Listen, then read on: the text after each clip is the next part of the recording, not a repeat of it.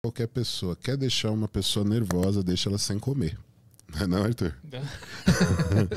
então. Minha namorada que o diga, né? É, na verdade, a restrição calórica ela deixa qualquer pessoa nervosa. Então, qualquer pessoa que está passando por um processo restritivo de alimentação, onde ela não pode comer o que ela gosta e na hora que ela quer, ela sim vai ficar um pouco mais nervosa e estressada. É uma questão de você ter o entendimento e maturidade que a escolha foi feita por você, não seu parceiro. Eu, por exemplo, tenho minha esposa que adora hambúrguer. E ela pede hambúrguer quase todos os dias. Sei bem como é isso. e, cara, eu não tenho direito de falar nada do hambúrguer dela, porque é uma escolha minha. E sim, eu tenho que aceitar ela comendo hambúrguer na minha frente, porque foi uma escolha minha não comer. O hambúrguer tá lá. Se eu pedir um pedaço, ela me dá. Então, é, é, é, aquela coisa, você tem que entender. E você também tem que entender que se é uma fraqueza que se te faz mal ficar vendo ela comer, evite. Então você não tem que falar para a pessoa, pô, não compra. Não, sai você, cara. É os incomodados que se retirem. Uhum.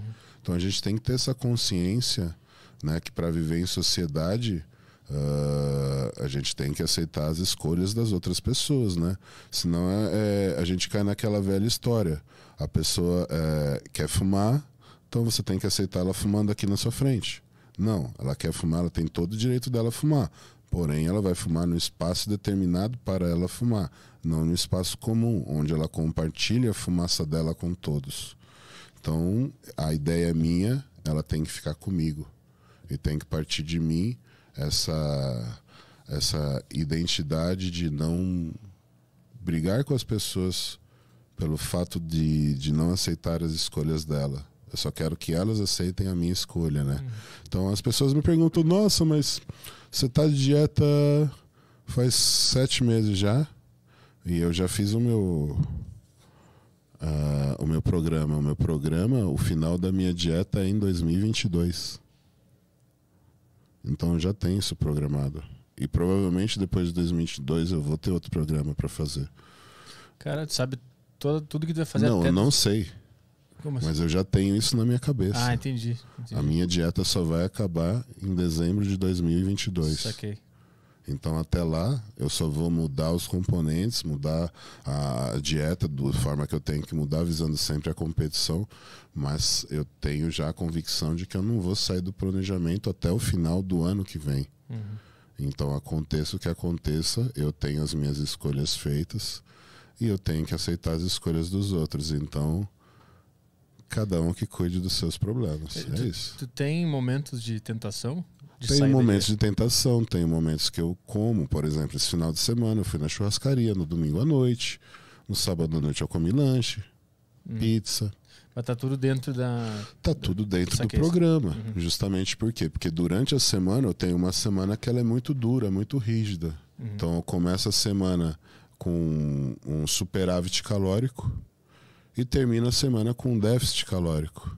Então tenho um nível de energia alto aqui, porque eu repuso a energia durante o final de semana e eu trabalho essa energia e venho perdendo esse volume de energia ao longo da semana até o fim de semana. Uhum. Eu tenho um baixo nível de energia, já está em déficit, entrando em catabolismo. Então, por exemplo, hoje eu iniciei minha semana com 119 quilos. A minha sexta-feira passada, que foi o término da minha semana, eu terminei ela com 116.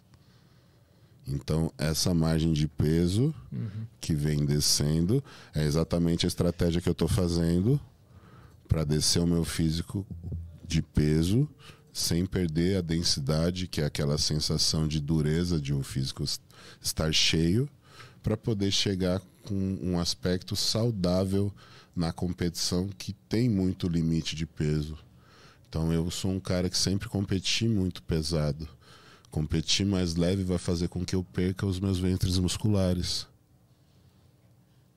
É isso que eu não quero que aconteça. Então, perder esse arredondamento é característica de uma dieta mal elaborada, onde você depleta demais o glicogênio muscular. Hum. E é isso que eu não quero fazer. Então, eu quero sempre deixar minha célula cheia. Para eu deixar a célula cheia, eu preciso acertar o planejamento dietético do começo até o final.